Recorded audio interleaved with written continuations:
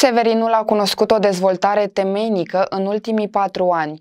Primarul Marius Creciu a dat dovadă de implicare astfel încât nivelul de trai al întregului municipiu să crească considerabil.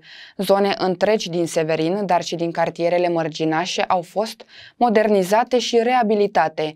Mulțumiți de activitatea primarului, severinenii au acordat cu încredere votul în data de 27 septembrie. Sâmbătă, Marius Creciu a fost investit în funcția de primar pentru un nou mandat. Jur să respect Constituția și legile țării și să fac cu bună credință tot ceea ce stă în puterile și priceperea mea pentru binele locuitorilor municipiului Drobeta Turnu Severin. Așa să ne ajute Dumnezeu.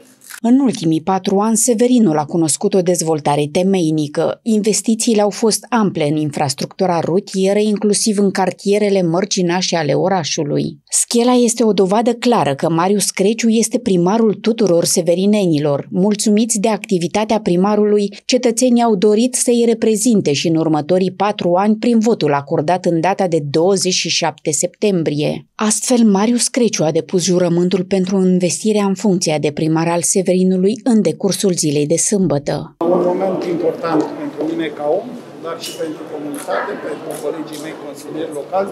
Concepem astăzi un nou drum, un drum, sperăm, cât mai benefic pentru severineni, un drum uh, sinuos, un drum greu, în condiții dificile, dar cu speranța că timp de patru ani vom fi alături de severineni, le vom rezolva problemele și uh, împreună cu toți, fără uh, niciun fel de conotație politică, să uh, avem după patru ani sentimentul lucrului bine făcut, al uh, datoriei împlinite față de cetățenii acestui superb oraș.